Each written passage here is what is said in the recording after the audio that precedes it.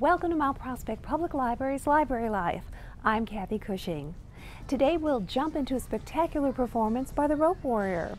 We'll also discover the fun and useful objects teens can create using recycled materials. And on that note, we'll visit with an interior designer who'll show us how to turn trash into treasure. But first, let's discover the magic of this year's summer reading program. This summer, the Mount Prospect Public Library is inviting patrons of all ages to discover the magic intrinsic to a good story. This year, we invite our participants to discover the magic in reading. And we chose that partly because it had such broad application across ages, across different types of literature. There can be romance, there can be science fiction, there can be horror, action adventure. There's just a little dusting of magic or fantasy, and actually just the whole idea that any book is magic for the reader. Reader's Advisory Librarian Kathleen Blair explains the steps to completion for those 18 and over who register for the program here at the Fiction AV Teen Desk.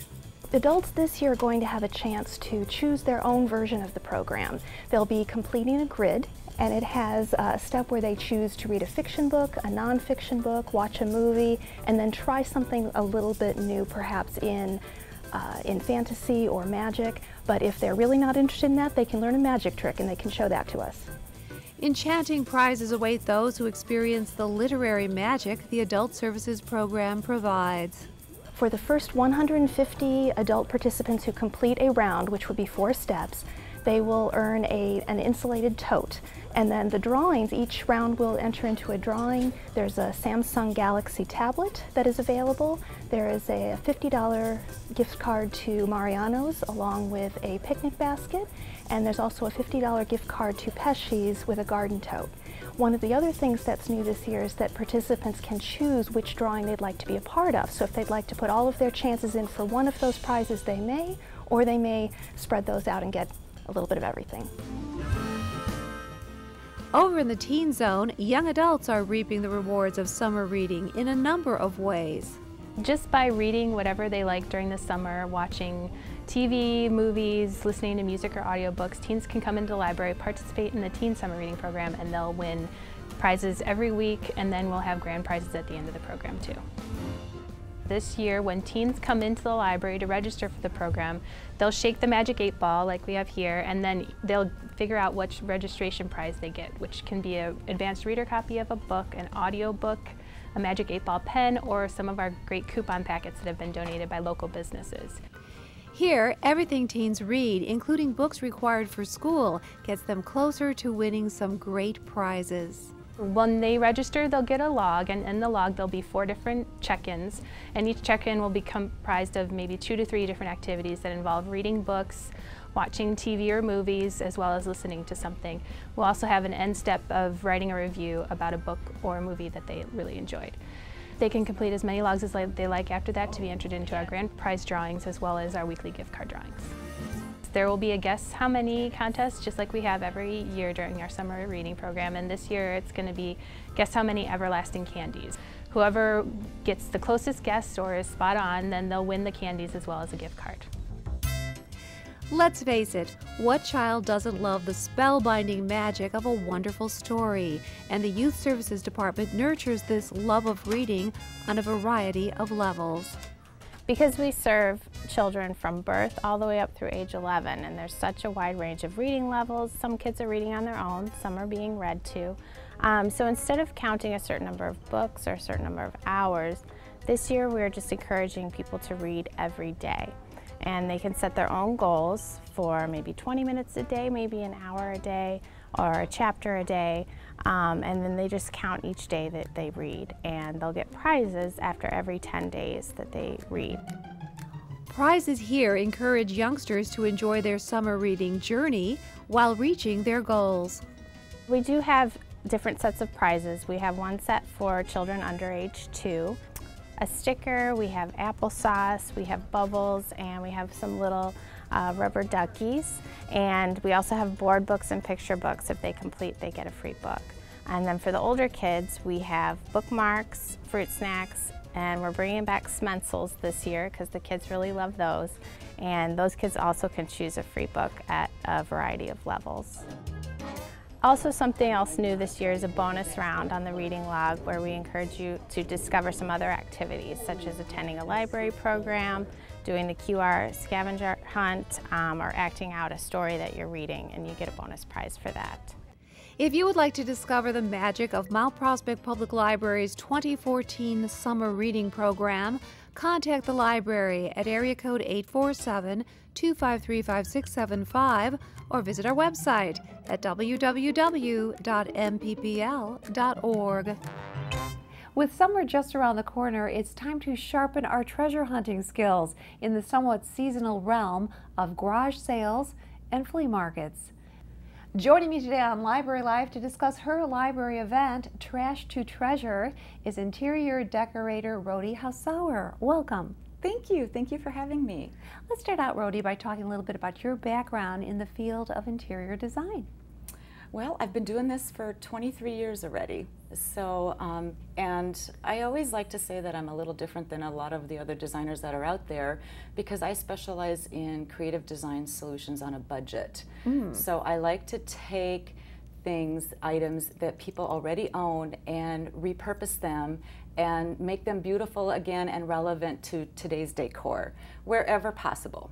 Okay, tell us a little bit about the premise behind your Trash to Treasure. I'm thinking it's pretty much pretty close to that, right? Yes, exactly. Um, and it basically it's the idea of looking at things in somebody's home um, or something that a, somebody has in their own home, um, and and something that they they see some value in it. They they like the picture, they like the piece of furniture, but they're really not sure that it works with the with the new color palette of today's colors.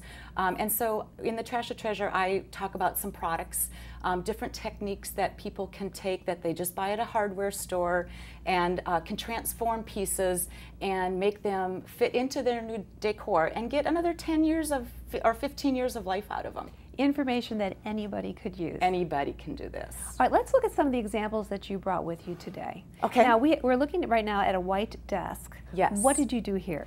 Well, this was a, a desk that was a beautiful desk from 1947. Mm. Um, it was in a hotel, um, but it had been through many uh, years of use and of people trying to update it in different ways um, that they saw fit.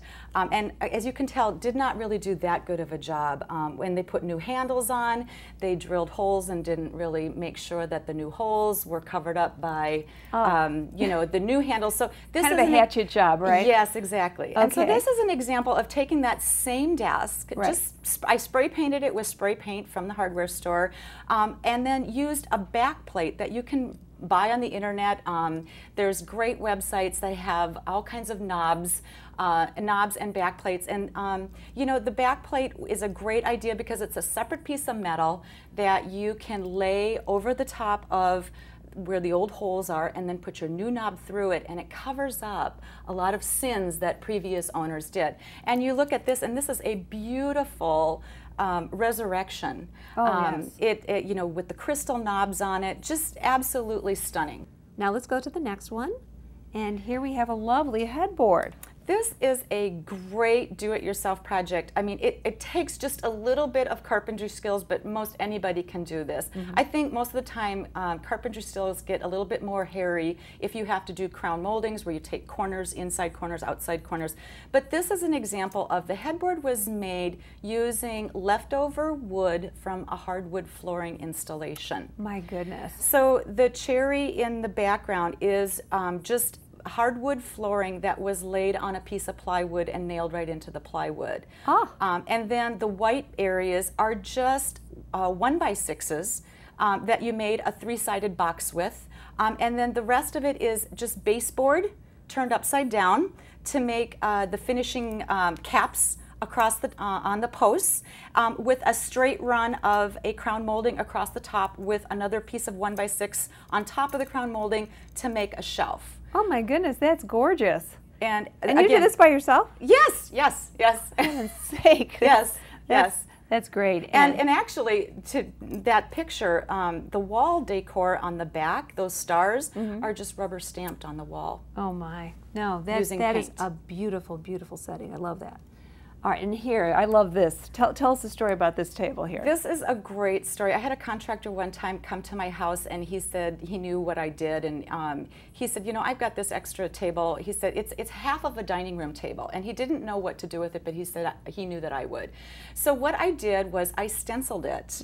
It's a half of an old Queen Anne dining room table. Um, it once you slide the leaves apart, you know you've got two ends. If you'd have both ends, it would make a great uh, bedside tables or uh, you know great living room tables. Um, but I stenciled them and then just polyurethaned over the top of it um, and created a beautiful side table um, that anybody could do. Again, Of course. And that brings us to my next question, which is the tools of the trade. Now, you obviously have this table attached to the wall in some way. So Yes. let, let's look at some of the tools of the trade that you feel are pretty much a must. A must, exactly. Well, there's two items that I love to use, and these you buy from the hardware store. Mm-hmm. Um, and these are dual purpose. One is if a piece is a little bit rickety, these are braces. Um. Right. This is a brace, and this is an L bracket. Um, and when you put these, you can strengthen furniture. So, like, imagine this on chairs, on the legs of chairs, and it automatically strengthens chairs.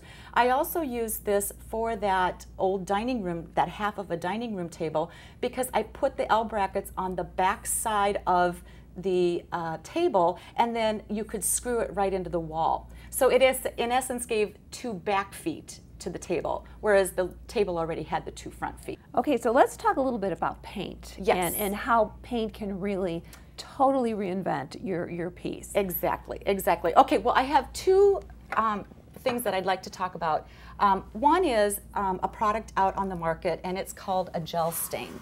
Okay, gel stain. Gel stain. And what I love about these is they're actually made for outdoor use um, on fiberglass front doors. Okay. Um, but this pretty much sticks to anything.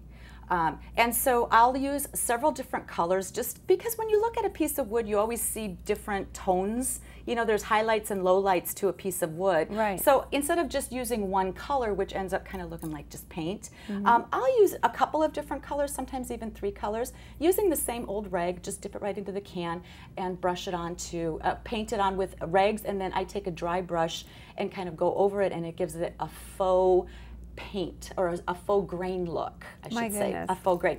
But what I love about this product is you can take old pieces of furniture um, that look really tired um, and need a, a, a fresh a fresh look, um, and just take old rags and wipe it over um, whatever p- the surface is, and then seal it with a polyurethane on top, and you have a whole new look.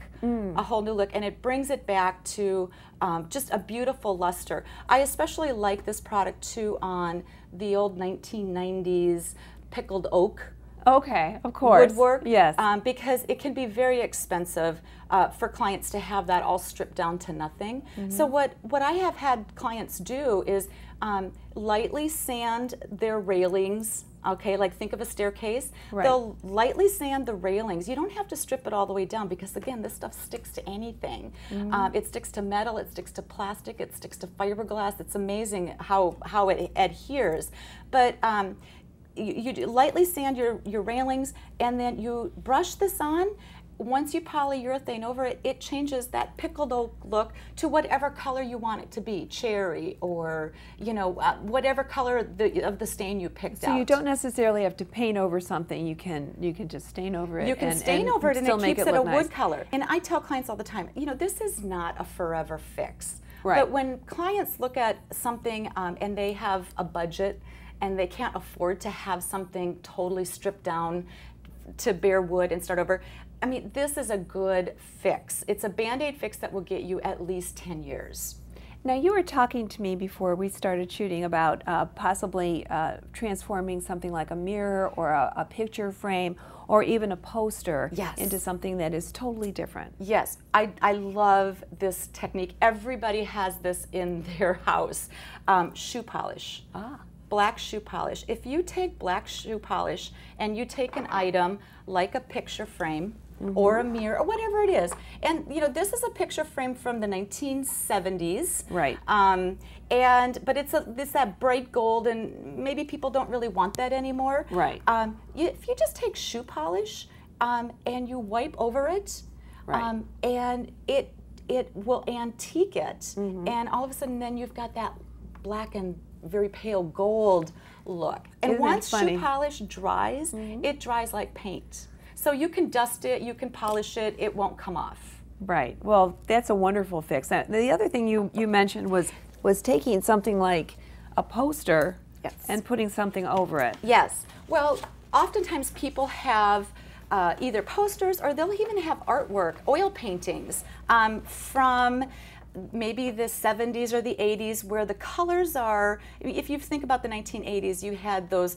bright pinks and the Right. seafoam greens um, so what i like to do is just take basic stain um, and in like in a golden oak color Right. and you take and this is not a gel stain this is the old-fashioned liquid watery um, stain Right. you stick a cloth in there and if you just wipe over your surface and now in this case like this is a real white background Uh-huh. um, if i would take a, a rag and dip this in here and just smear over this it will turn it a parchment color and make it look old world Oh my. so this was a poster that I bought on clearance rail at a craft store for three dollars, and I could turn this into a very beautiful, old-looking picture.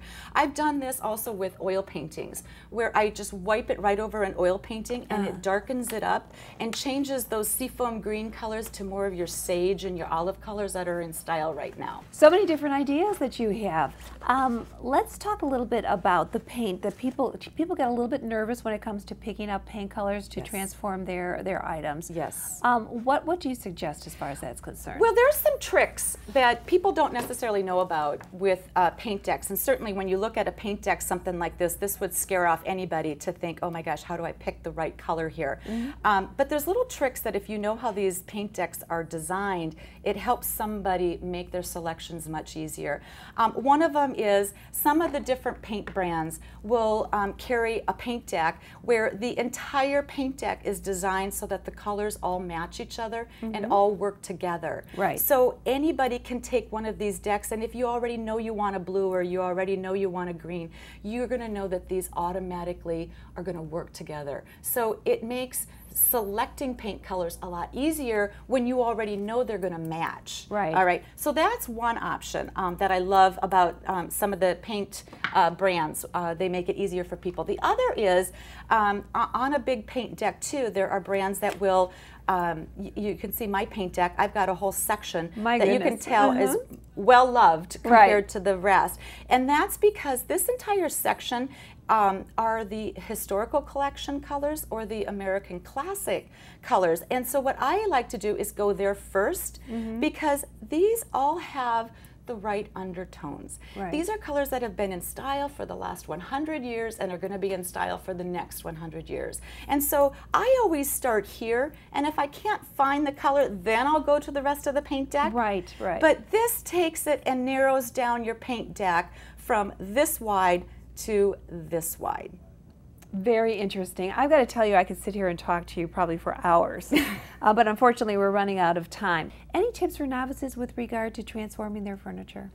Well, the one thing I would always tell clients is it's only paint. Right. What do you have to lose? And if the item was going to go in the garbage or you know you or, or make an attempt to do something with it um, you have nothing to lose. So to have courage have courage and go ahead and and do it. Um, but look for pieces that you know have some architecture to them have some interest to them um, those always make for a better uh, look in the end Right. um, but at the same time, don't worry if it's a little rickety because you can buy the braces and the L brackets at the hardware store to make them more sturdy. Uh, but using stencils or make your own stencils, you can create even something that's flat and unattractive and doesn't have a lot of detail. You can make it very attractive. But so I think it really is just have courage. Have courage and go for it. Perfect. Thank you so much for being with me today. Thank you for having me. If you would like more information on Rhody's program, Trash to Treasure, or any upcoming Mount Prospect Public Library event, call the library at area code 847-253-5675 or visit our website at www.mppl.org. Recreating old objects into something new can be invigorating. Let's peek in on a teen open creation session focusing on recycled crafts.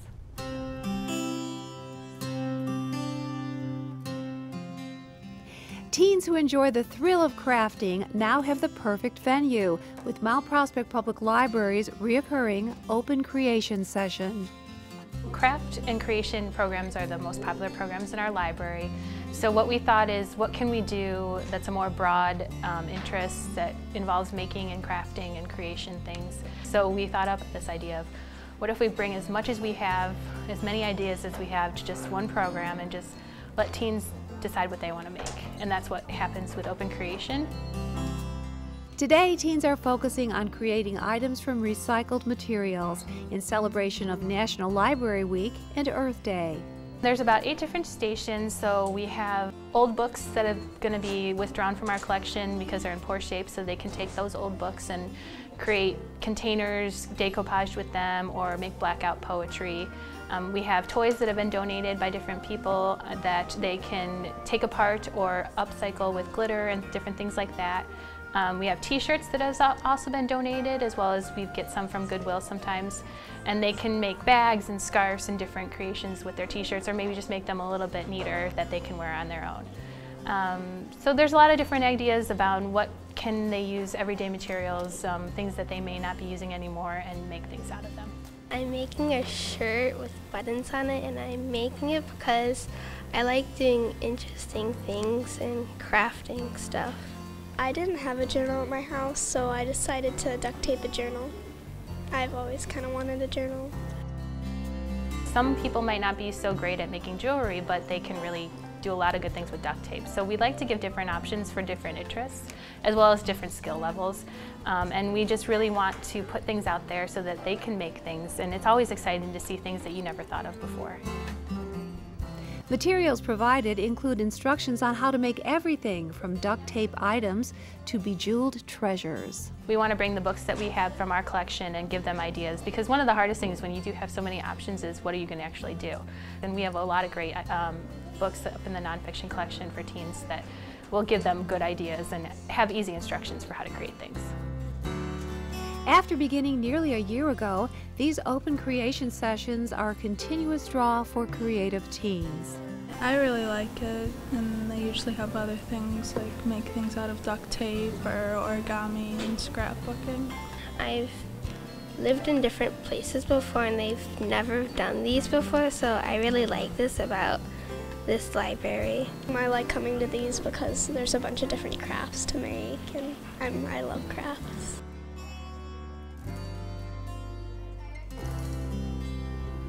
Sometimes a makeover or lifestyle adjustment is just the thing to help a person get started on a better path. Here's Reader's Advisor Joyce Bratner with a best book pick on this very topic, Warming Up by Mary Hutchings Reed. Cecilia is talented but depressed and unsure of what to do with her life. Although she seeks professional therapy, the person who has the greatest impact on her is a homeless runaway teenager whom she befriends, even though he conned her out of $60 and is often less than truthful. Although Cecilia is 40, it is a coming of age story as she attempts to recover from missteps in her life. She struggles with questioning her worth, abilities, and purpose which are directly challenged by the self-assured teenager confronting issues of his own. The finely developed characters form a bond with the reader, giving the reader a feeling of knowing the character as persons. The well-crafted plot, with its twists, secrets, and steady build-up to the end, makes the book a page-turner. The warmth of the book and its satisfying outcome makes it a pleasure to read. Recommendations from the Adult Services Department this month are coming of age stories. In the shipping news by Annie Proulx, a man works toward finding fulfillment in his life by returning to his hometown to face the issues and failures of his past. The Absolutely True Diary of a Part-Time Indian by Sherman Alexie follows the challenging journey of a teen who leaves his Indian reservation in his quest for a better education at an all-white high school in a nearby town. In Caramelo by Sandra Cisneros, a Chicago Latino girl faces struggles with conflicting identities after a family trip to Mexico underlines the differences in the two cultures she bridges every day. And for movie fans, Breaking Away is a classic film about four boys whose passion for bicycle racing helps them find themselves and prepare for life after high school. And in Big, a 12 year old boy's wish to be big comes true when he wakes up one morning with an adult body and learns the gravity of his wish when he's suddenly thrown into the grown up world. Recommendations from the Youth Services Department this month are summer reading picks about magic. In Goblin Secrets by William Alexander, a boy joins a theatrical troupe of goblins to find his missing brother. The Secret of Platform 13 by Eva Ibbotson centers around a strange group of magical creatures who travel through a hidden doorway into London in search of their missing prince. In The Magic Thief by Sarah Prineas, a boy becomes a wizard's apprentice after proving himself by picking up a potentially deadly magical stone. Dragon Rider by Cornelia Funke is a magical tale about a brave young dragon who sets out on a journey to find the mythical place where silver dragons can live forever in peace. And in Doll Bones by Holly Black, three friends embark on a quest to help free the spirit of a ghost trapped inside a china doll. Finally, here's Head of Youth Services Mary Smith with her best book pick from this department. Jinx by Sage Blackwood. Every child in Urwald Forest knows you never, ever wander off the path. So imagine six year old Jinx's terror when his stepfather abandons him there. Will he be eaten by trolls? Or torn apart by werewolves? Or maybe a witch will cast a spell on him. Luckily, he's found by a wizard named Simon who needs an assistant. Life as a wizard's apprentice isn't glamorous. There's the cleaning and the fetching and the cats, all 27 of them. But Simon doesn't seem dangerous, only very grumpy. Simon even decides to teach Jinx a little magic. The problem is, even though Jinx knows four languages, can speak to trees, and reads people's minds, he is absolutely helpless at learning spells. He can't even move the tiniest pebble with his mind or learn a concealment spell. It seems to Jinx he must be completely lacking in magical ability. So imagine Jinx's surprise when Simon casts a spell on him, making him collapse on the floor while his magic floats through the air in a golden ball for Simon to capture in a bottle. It turns out that Jinx did have magical ability, a special kind of forest magic that Simon has stolen for his own. Now Jinx must find Simon's sworn enemy to ask him for help. Will Jinx be able to get his magic back, or will he just make things worse? Mount Prospect Public Library Super Saturdays give families the opportunity to experience the magic live entertainment provides. Here's a look at the high energy performance of the Rope Warrior.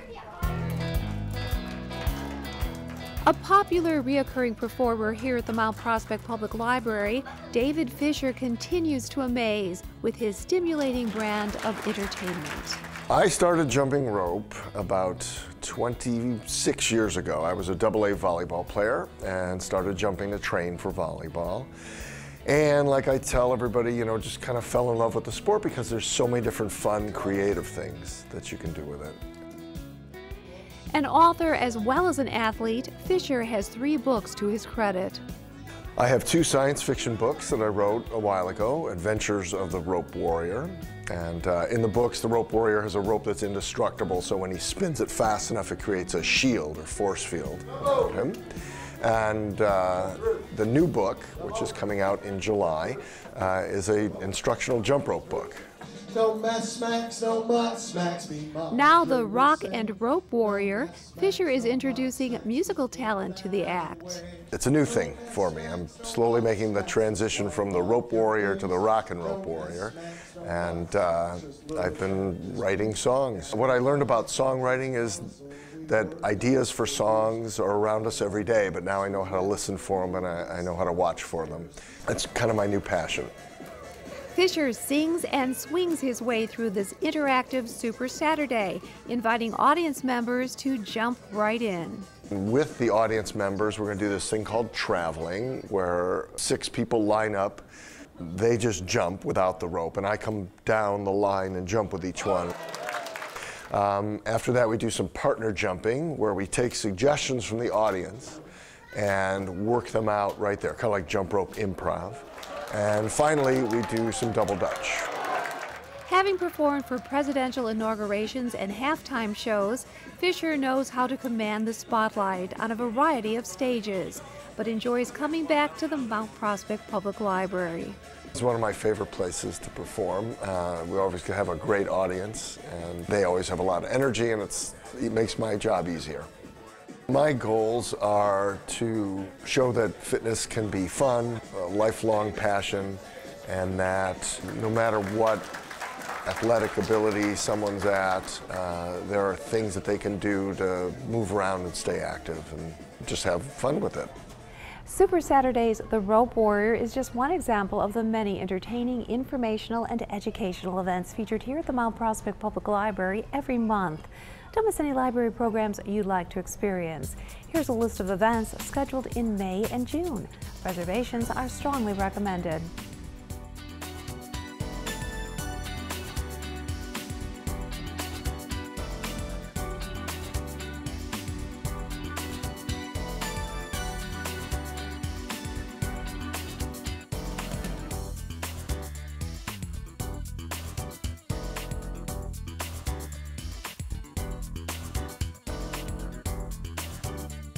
For more information regarding these events, call area code 847-253-5675 or visit our website at www.mppl.org. You will also find a listing and description of all upcoming Mount Prospect Public Library events in your library newsletter preview. Today we have explored the many ways trash can become treasure. With this in mind, our Library Life camera today asks the question, what is your favorite recycled treasure and why? Here are some responses. Uh, it was a turbo oven that I bought for $20 at the Great Evanston garage sale. I turned it into a bookcase, but originally it was a wooden boat that my dad used to play with. That wraps up this edition of Library Life. For more information on any of the Mount Prospect Public Library services and events highlighted here, call area code 847-253-5675 or visit our website at www.mppl.org. And don't forget to discover the magic of the 2014 Summer Reading Program, running June 1st through July 31st.